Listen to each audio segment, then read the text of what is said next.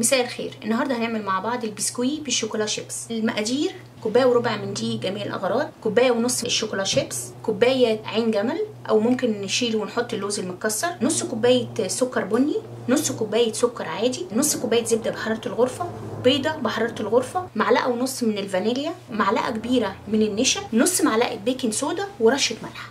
أول حاجة هنعملها في بولة كبيرة شوية هحط فيها الدقيق وأحط عليهم رشة الملح. وال baking soda ومعلقة النشا الكبيرة واقلبهم كويس. في بولة كبيرة شوية أحط الزبدة.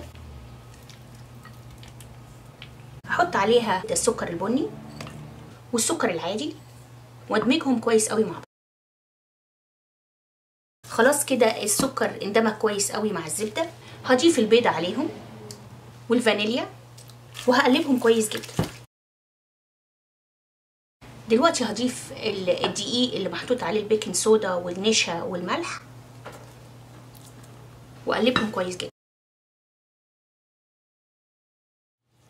كده خلاص الكوكيز اندمج كويس جدا مع بعض وبقى زي عجينة طرية. هضيف دلوقتي عين الجمل وال chocolate chips واقلبهم كلهم مع بعض. على الصينية هبتدي أشكل الكوكيز تقريبا لكل واحدة كوكيز معلقتين صغيرين.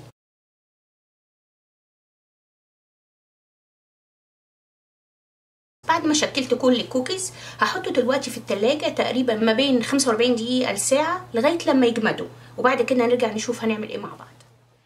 علشان نسرع عملية تجميد البسكويت نحطه بدل ساعة في التلاجة نحطه نص ساعة في الفريزر. زي ما إحنا شايفين بيطلع ماسك نفسه ومفرزن. ممكن دلوقتي الوقت دوت نسوي اللي إحنا محتاجينه. وممكن نحط الباقي في كيس من ال Ziploc.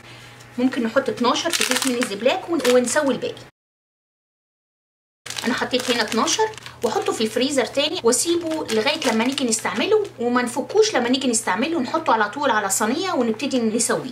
في صينية تاني عليها ورق زبدة هحط البسكويت وهسيب مسافة ما بين كل واحدة وواحدة. وده بيخلي البسكويت لما بيكون ماسك نفسه ومجمد بيخلي البسكويتة تكبر وبيخليها تطلع مشققة.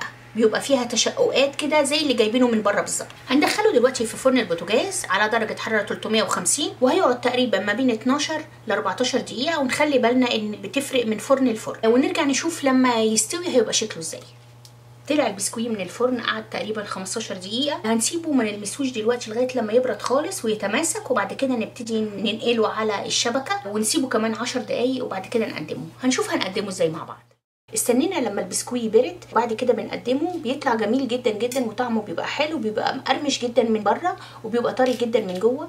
إن شاء الله الطريقة تعجبكم وجربوها. إلى اللقاء.